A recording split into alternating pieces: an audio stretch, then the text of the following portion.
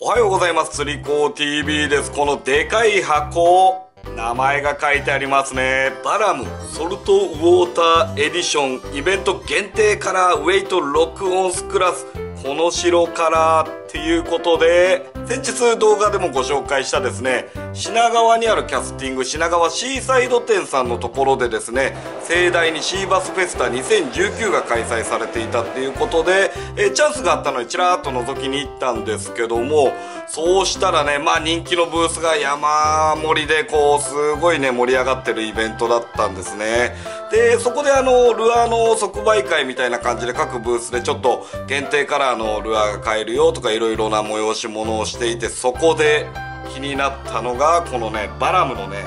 海カラーね。で4種類5種類ぐらいですね準備されていたんですけども4種類陳列されていたかな。その中でも一番気になったですねこの白カラーこれをね一つね買ってきてみましたので、えー、早速開封していきたいと思います。こんな感じのね、はい、ケースに入っていて。マドネスブースですね。じゃじゃーん。これは上がるんじゃないですか？人気のですねバラムしかもスペシャルカラーっていうことで。あーこれはねでもまあ安いものじゃないんでブースをね何回りかしてそれでもまだ残っていたら買おうかなと思ってねそしたらねまだねギリギリあったので買っちゃいましたね。気がついたらですねなぜかこう手に持っていましたね。っていうことで、え、ジャイアントベイトのバラム300なんですけどもあもちろんねあのブラックバスの8トラップとかでね、えー、大人気、えー、沸騰中のルアーですが海でもこういった大きなベイトをね捕食する時に効くんじゃないかなっていうことででまあね全然海でも使えるようなカラーいっぱいあって実際にね自分も結構投げてみたりしているんですけども、えー、今の時期ねこのこの白っちゅうね魚がねすごい湧いていてまあまさにこんな魚こんなサイズ感なんですよね。めちゃくちゃね大きな餌なのででそれにつくシーバスも必然的に大きくなってくるっていうことででそんな時にねあの、まあ、小さいねミノとかでも釣れなくはないと思うんですけどもこういった大きなドーンとね目立ったやつもね躊躇なくね大きな口を開けて襲いかかってくるっていうことでまあボックスに忍ばせておいたら絶対ね使いどころはあるなと思ってまあ、ソルトウォーターエディションということですけどもあ重さの方とか針の方は変わってなさそうですね。フローティング仕様6オンスっていうことでいいかと思うんですけども。じゃあね早速ね開けていきますかね。いやーこれねこういうのがね売ってると思ってなかったんでただねいや買うしかねえなと思って。まだねバラも自分1匹もね釣ったことないんであセパルもねまだね持ってはいるんだけどね魚あげられてはいないんで 今年こそはねバラムフィッシュ釣りたいななんて思うんですけどもそうこう言ってるうちにねなんかどんどんね球数だけはこうね増えていっちゃってまずねはい。いやこのケースの時点でねなんかね上がりますよね。こんな感じでもうそのまま飾っておけそうな綺麗なルアーですけども。えー、じゃあどうしますか入ってますかね。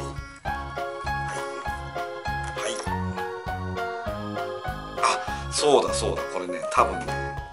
裏が裏が止められてんだったそうだ思い出した。はい高速部がねついてますので、えー、これをねじねじして取って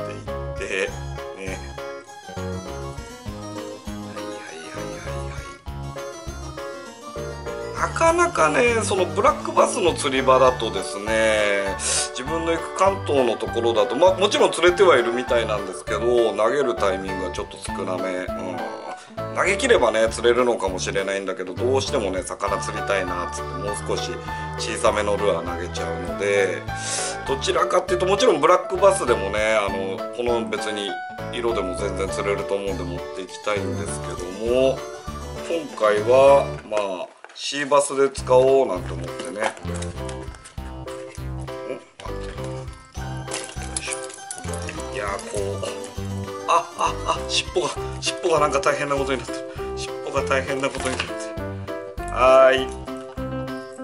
出てきましたね。はい改めまして出てきました。バラムのこれがですねソルトウォーターエディションだぞっていうことでこの白カラーなんですね。こんな感じの。点々がついてこのね点々がついてない感じ雰囲気のが、まあ、ボラカラーっていう感じで売っていてであとねめちゃくちゃ夜に効きそうなですねドチャートみたいなねあのチャートカラーが眩しいねそんな色とかあとはね背中黄色腹折れとかのね海っぽいねカラーがねいくつか並んでいたんですけどもマッチ・ザ・ベイトを目指すぜってことでまさにこの白なこのこの白カラーね買ってきてました。お腹側はね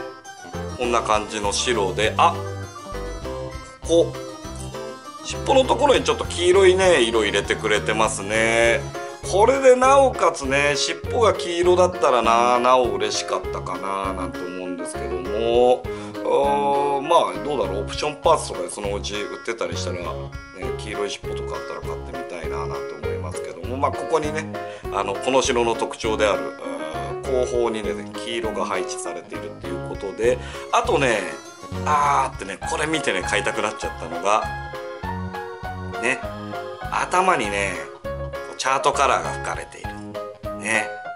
これね結構薄暗い時間からえいやーってね昼間中心の釣りなんですけど始めて結構ね視認性が大事だなーなんてね最近ね、あのー、感じるんですよね。なんか投げてこうグリグリグリグリグリグリグリポン。かしたりした瞬間とかにパコってね食いつくなんていうね食い方を、えー、よく見てそうするとやっぱルアーの位置がねどこにあるかっていうのがね、えー、分かりやすいとありがたいななんていうことでまあ白でもいいんですけどこう黄色でもね見えやすいしあとねあのダウズスイマーのあのピンクバッグなんかもねすごい見やすいんで使いやすくてえ。使っているんですがこれでまあ場所をね、まあ、大体大きなね存在感なんで巻いてりゃまあどこにあるかっていうのがねなんとなくわかるんですけどもそうは言ってもそうは言ってもですねこの、えー、遠目で目立ちやすいこのね頭に黄色が吹かれているっていうねここら辺がいいんじゃないかな。で針はこうフッ素加工のごっつい針がついてますね。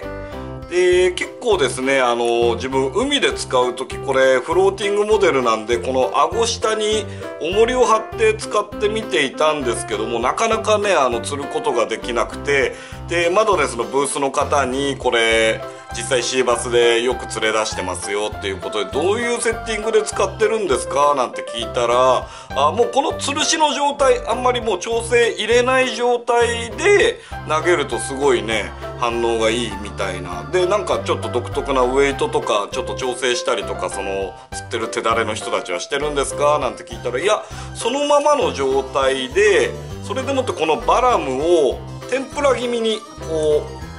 うねロフテッド軌道っていうんですかね。こうちょっと高めにこう上げて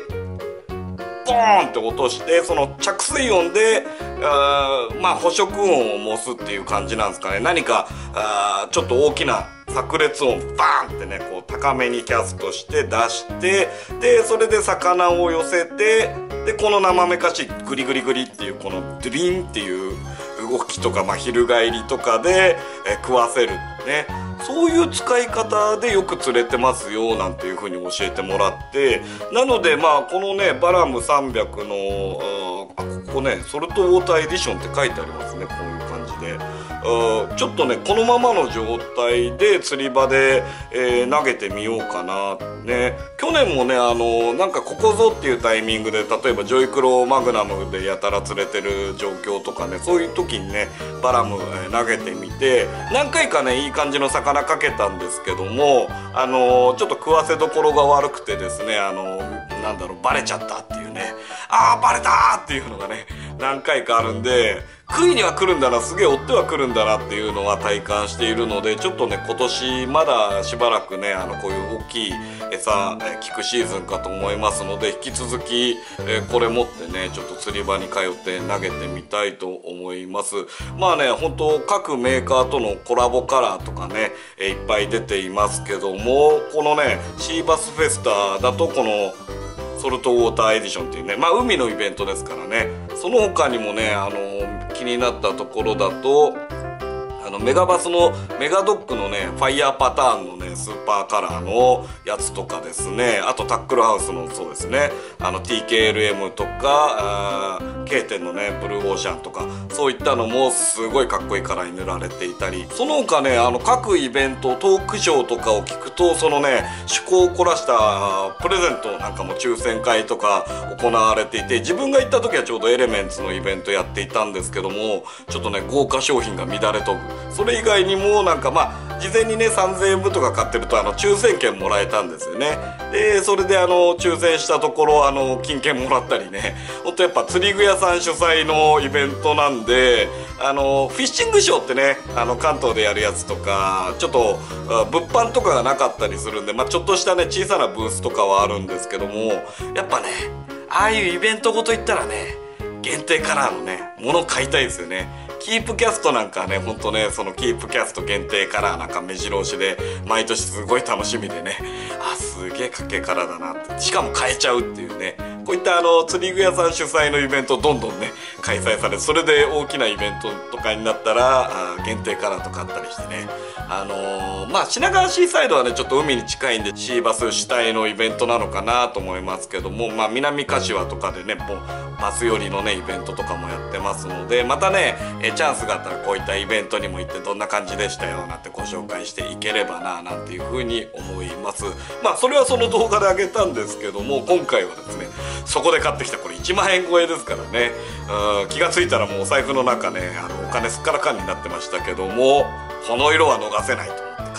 ましたよ。というわけで本日の釣り子 TV はキャスティング品川シーサイド店で行われていた、えー、シーバスのイベントシーバスフェスタに行ったところマドネスブースでこのバラムのソルトウォーターエディションが買えたやつこういった動画でしたはい釣り子 TV でした